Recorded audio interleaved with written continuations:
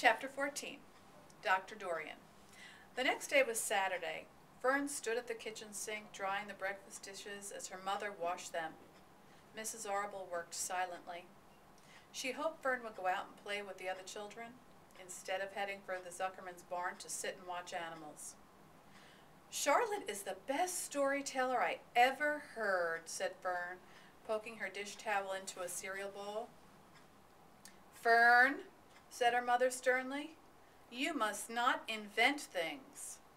You know spiders don't tell stories. Spiders can't talk. Charlotte can, replied Fern. She doesn't talk very loud, but she talks. What kind of story did she tell? asked Mrs. Arable. Well, began Fern, she told us about a cousin of hers who caught a fish in her web. Don't you think that sounds fascinating? Fern dear, how would a fish get caught in a spider's web? You know, it couldn't happen. You're making this up. Oh, it happened all right, replied Fern. Charlotte never fibs. This cousin of hers built a web across a stream. One day she was hanging around on the web, and a tiny fish leapt into the air and got tangled in the web. The fish was caught by one fin. Mother, its tail wildly thrashing and shining in the sun. Can't you just see the web, sagging dangerously under the weight of the fish? Charlotte's cousin kept slipping in, dodging out, and she was beaten mercilessly over the head by the wildly thrashing fish, dancing in, dashing, dashing out, throwing. Fern! snapped her mother. Stop it! Stop inventing wild tales. I'm not inventing, said Fern. I'm just telling you the facts. What finally happened? asked her mother, whose curiosity had began to get the better of her. Charlotte's cousin won. She wrapped the fish up, then she ate him when she got good and ready. Spiders have to eat, the same as the rest of us. Yes, I suppose they do, said Fern's mom. Charlotte has another cousin who is a balloonist. She stands on her head, lets out a lot of air, and is carried aloft on the wind. Mother, wouldn't you simply love to do that? Yes, I would come to think of it, replied Mrs. Arable. But Fern, darling, I wish you would play outside today instead of going up to Uncle Homer's barn. Find some of your playmates and do something nice outdoors.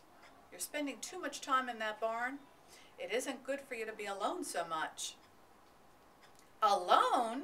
said Fern. Alone. My best friends are in the barn cellar. It is a very sociable place, not at all lonely. Fern disappeared after a while, walking down the road toward Zuckerman's. Her mother dusted the sitting room. As she worked, she kept thinking about Fern. It didn't seem natural for a little girl to be so interested in animals. Finally, Mrs. Arable made up her mind she would pay a call on old Dr. Dorian and ask for his advice. She got in the car and drove to his office in the village. Dr. Dorian had a thick beard. He was glad to see Mrs. Arable and gave her a comfortable chair. Dr. Dorian had a thick beard and, oh, it's about Fern, she exclaimed. Fern spends entirely too much time in Zuckerman's barn. It doesn't seem normal. She sits on a milk stool in a corner of the barn cellar near the pig pen and watches animals hour after hour. She just sits and listens. Dr. Dorian leaned back and closed his eyes. How enchanting, he said. It must be real nice and quiet down there. Homer has some sheep, hasn't he? Yes, said Mrs. Arable. But it all started with that pig we let Fern raise on a bottle. She calls him Wilbur.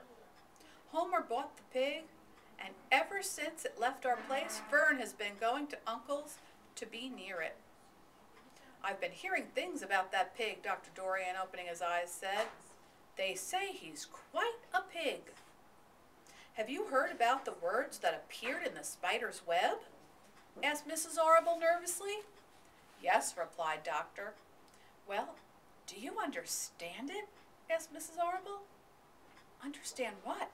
Do you understand how there could be any writing in a spider's web? Oh, no, said Dr. Dorian. I don't understand it. But for ma- that matter, I don't understand how a spider learned to spin a web in the first place.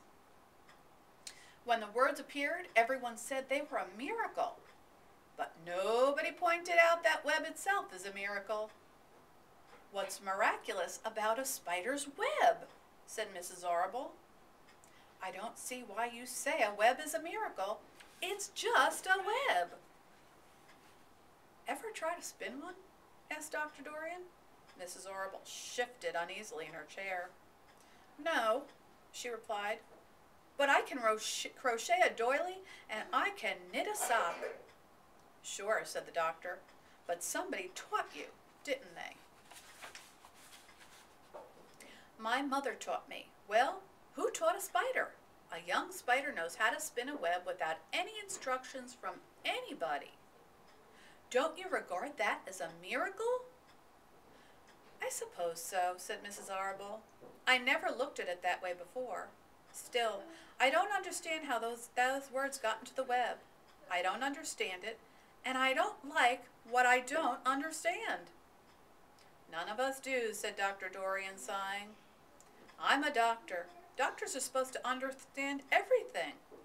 But I don't understand everything, and I don't intend to let it worry me. Mrs. Fidget, fidgeted.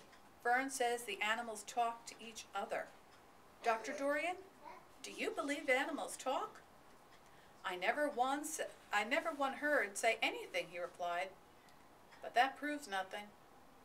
It is quite possible that an animal has spoken civilly to me and I didn't catch the remark because I wasn't paying attention.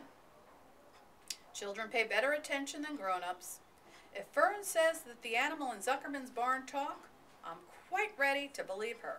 Perhaps, if people talk less, animals would talk more. People are incessant talkers. I can give you my word on that. Well, I feel better about Fern, said Mrs. Arable. You don't think I need to worry about her? Does she look well? asked the doctor. Oh, yes. Appetite good? Oh, yes, she's always hungry. Sleep well at night? Oh, yes. Then don't worry, said the doctor. Do you think she'll ever start thinking about something besides pigs and sheep and geese and spiders? How old is Fern? She's eight. Well, said Dr. Dorian, I think she will always love animals. But I doubt that she spends her entire life in Homer Zuckerman's barn cellar. How about boys? Does she know any boys? She knows Henry Fussy, said Mrs. Arable brightly. Dr. Dorian closed his eyes again and went into a deep thought. Henry Fussy. Hmm, he mumbled. Remarkable. Well, I don't think you have anything to worry about. Let Fern associate with her friends in the barn if she wants to. I would say offhand that spiders and pigs were fully as interesting as Henry Fussy. Yet I predict that the day will come when even Henry will drop some chance remark that catches Fern's attention. It's amazing how children change from year to year. How's Avery? chuckled Mrs. Arable. Avery is always fine.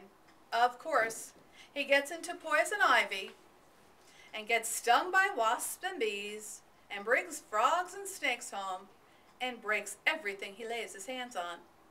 He's fine. Good, said the doctor. Mrs. Arable said goodbye and thanked Dr. Dorian very much for his advice.